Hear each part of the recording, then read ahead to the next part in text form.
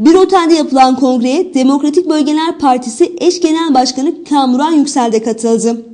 Kongreye tek eş başkan adayları ve mevcut başkan ile giden DBP Kansil Başkanlığı yeniden Şengül Mehmetoğlu ve Mehmet Sinan Kaynar'ı tek aday olarak gösterdi. Kongrede ilk olarak divan oluşturuldu.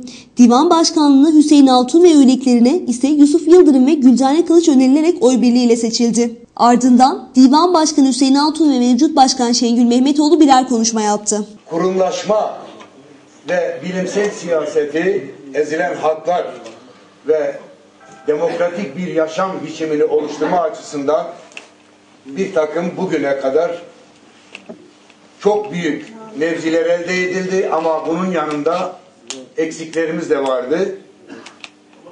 Demokratik bilimsel siyasetin öncülüğünü yapabilecek, yapmak için önderliğimizin önümüze koyduğu projeyi halkımızla birlikte mücadelemizin bütün kurumlarıyla birlikte öncülüğünü yapacak Halkların Demokratik Bölgeler Partisi'nin bu misyonu doğru anlaşılması ve pratiğe geçme konusunda siyasetin bir akademik sürece ihtiyacımız vardı. Bizim partimizde gerçekten emeği sömürülen, ezilen, yok sayılan, asimile eden halkların çalışmasını, örgütlenmesini üstlenmekteydik bu çalışmalarımızda. Ve bu çalışmaları yaparken çok büyük onur ve gurur duyarak yaptım. Benim için çok önemli, güzel deneyimler kazandırıldı bana. Yani ben şunu söylemek istiyorum.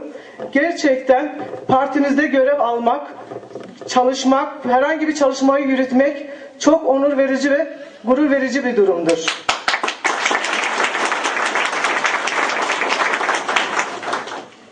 Ve hepimizin bildiği gibi yarın 25 Kasım Uluslararası Dünya Kadın Şiddetine Hayır Günü'dür. Bu vesileyle 25 Kasım'ı şiddete hayır gününü şey Kobani'de katledilen Arin Miksar yoldaşım, Kader Ortakapa Kader Ortakapa yoldaşım ve bütün tüm devrim şehitlerine ad ediyorum.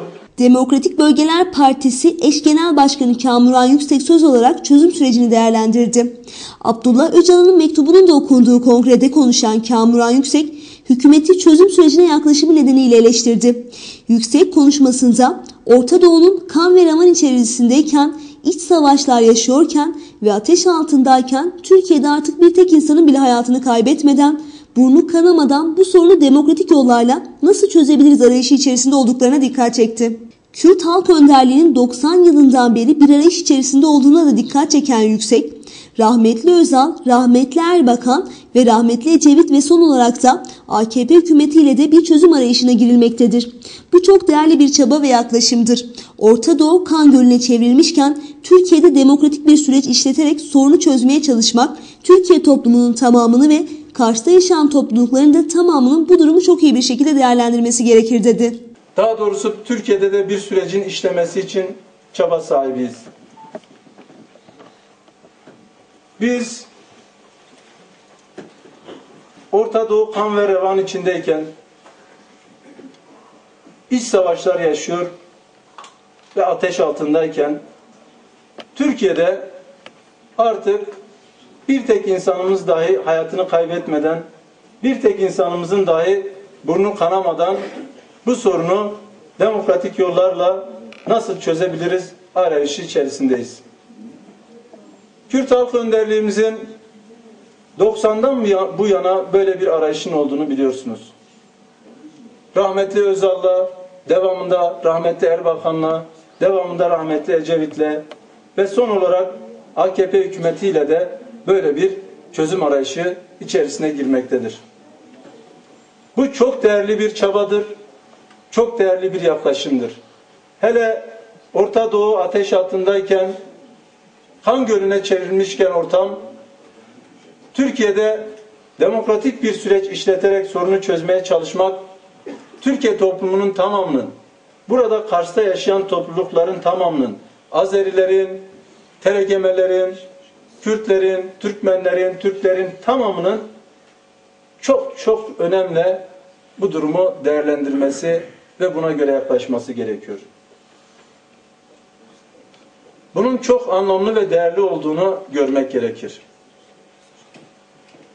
Ama maalesef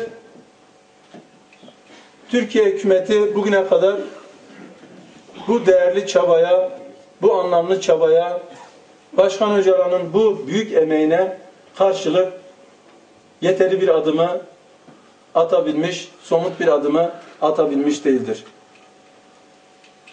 Bu da Türkiye'yi adım adım Orta Doğu'daki diğer ülkelerin içinde bulunduğu duruma sürüklemeye,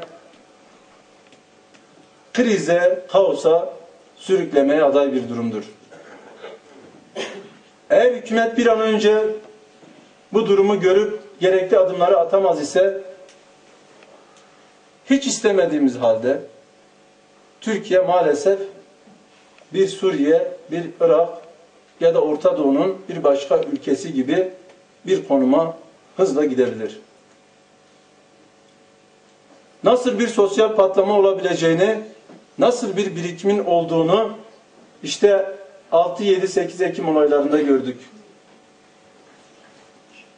Kürt halkının ve Türkiye devrimci güçlerinin Türk hükümetinin şu anda yürütmüş olduğu oyalama sürecine karşılık Kürtlere düşmanlık yapan her örgüte, işit gibi bir örgüte dahi destek vermesine karşılık çok büyük bir tepki ve öfke içindedir. Dolayısıyla hükümetin 6-7-8 Ekim olaylarını doğru okuması gerekir. Bunun sadece bir gösterge olduğunu anlaması ve görmesi gerekir. Demokratik Bölgeler Partisi eş genel başkanı Kamuran Yüksel'in konuşmasının ardından seçim yapıldı.